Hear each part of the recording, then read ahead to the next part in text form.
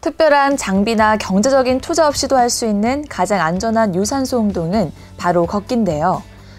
충남도가 도민의 생활 속 걷기 실천 향상을 위해 도민과 함께하는 행복 걷기 운동을 전개합니다. 작년 2월 충남체육회가 도민의 일상 속 체력 증진을 독려하기 위해 자체 개발한 스마트폰 건강관리 앱인 걷주를 활용한 방식인데요. 이 프로그램이 걷주입니다. 스마트폰으로 이렇게 쉽게 이용할 수 있는데요. 걷주를 통해 걷기 목표를 달성하면 포인트를 적립해 주는데 목표 걸음 수는 매주 7만 보 이상, 월 30만 보 이상으로 목표 달성 시 총 3,000포인트를 지급받을 수 있습니다.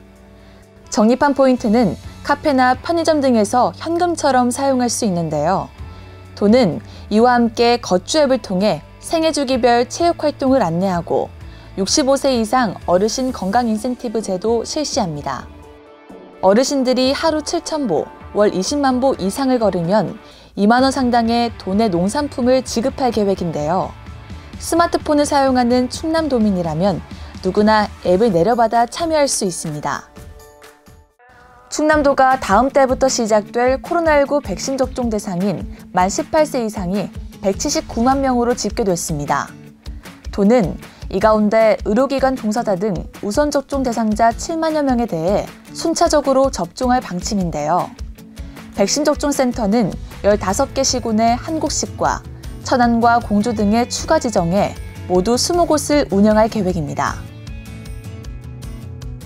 충남도가 올해 천안, 서산, 당진, 홍성에서 중증 장애인을 위한 긴급 돌봄 서비스를 시범 운영에 들어갑니다. 긴급 돌봄은 중증장애인 보호자가 급한 용무로 돌봄을 신청하면 도우미가 가정을 방문해 보살펴주는 제도인데요.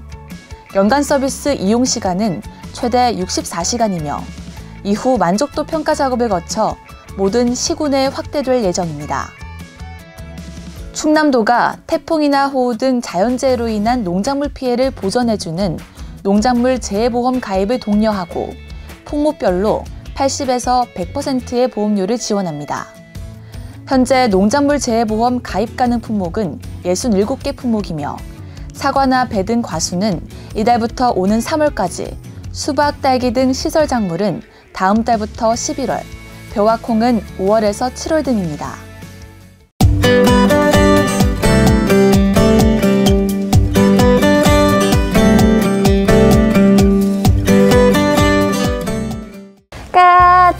같이 어떻게 모여? 우리 설날은 어디요. 여러분 안녕하세요. 아나운서 신하영입니다. 2021년 설날을 맞이해서 제가 찾아온 이곳은 공주시 유급입니다. 이곳은 한때 우리나라의 70%의 섬유를 자랑했던 섬유도시였다고 하는데요. 여러분 함께 가보시죠. 1980년대까지 국내 직물 산업의 부흥을 이끈 공주시 유급 이 작은 마을에는 아주 특별한 전시관이 있는데요. 사장님 여기가 어떤 곳이에요? 정확하게? 여기는 말 그대로 유구 섬유역사 전시관이에요. 유구 섬유역사 전시관.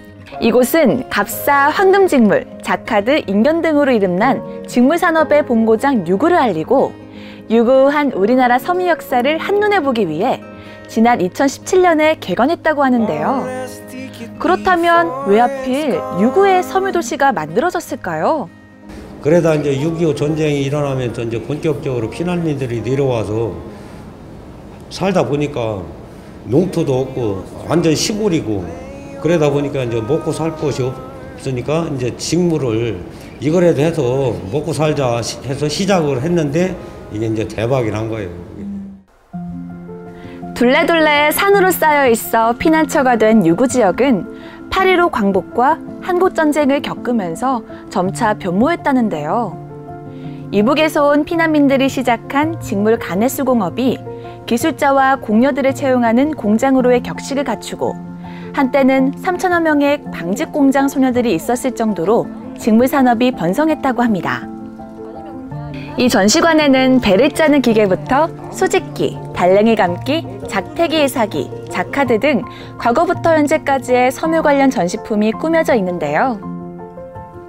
예, 삼배를 짜다가 인견을 짜다가 이제 인견에서 또 이제 발전이 돼서 나이론으로 이렇게 이제 바뀌면서 지금에 이제 이르고 있습니다. 원단이 바뀌면서 발전을 그렇죠. 원단도 이제 시대가 변하면서 원단도 계속 바뀌는 거죠.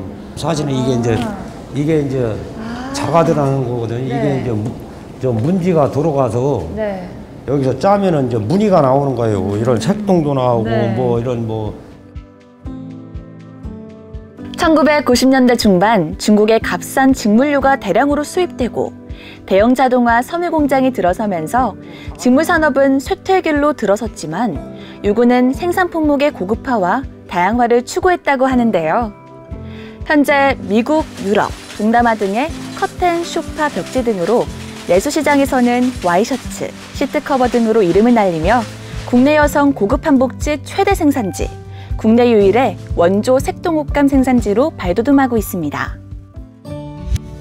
전시관에서는 이곳 방문객들을 위해 알록달록 색동천으로 만든 소품들을 전시 판매하고 미니 배틀로 소품 만들기 등의 다양한 체험 활동을 제공하고 있는데요.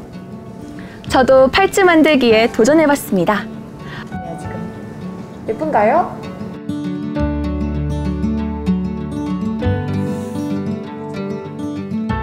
이게 다가 아닙니다. 일구에 오면 꼭 가봐야 할 곳이 또 있는데요. 가내수공업에서 자동화 과정까지 유구섬유 산업의 역사를 기억하기 위해 만든 유구 벽화 마을입니다. 여행자로 하여금 유구의 역사를 떠올리게 하는데요. SNS에서 핫한 이날치 아시죠? 그 이날치가 입었던 옷이 바로 이 색동인데요. 제가 입은 이 색동도 예쁘지 않나요? 유구 홍보 제대로 한번 해볼까요?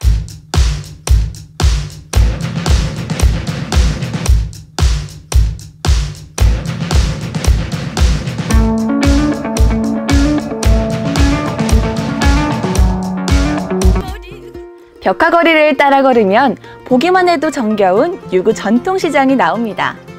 사실 유구역은 고려시대부터 교통통신기관으로 호남과 서울을 연결해주는 중심 통로로 커다란 상권을 이뤘다고 하는데요. 저도 시장 구경에 나섰습니다.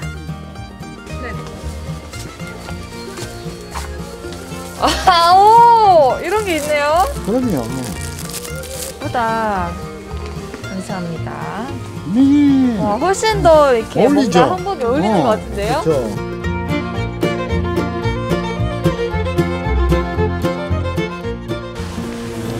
지금은 이렇게 여기서 저쪽에 매점이 있는데 네. 여기다 이렇게 연습하고 있는 거거든요.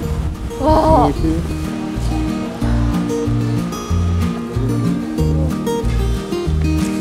이 시장에 특화되어 있는 김치라고 하는데요. 먹어볼게요. 음, 상추 등록까지 되어 있고 지금 향이 되게 좋다. 뿌리 향이 나요. 네, 맛있어요. 맛있죠. 네, 맛있습니다. 요거하고 네, 조금 맛있어요. 조금 써요, 근데.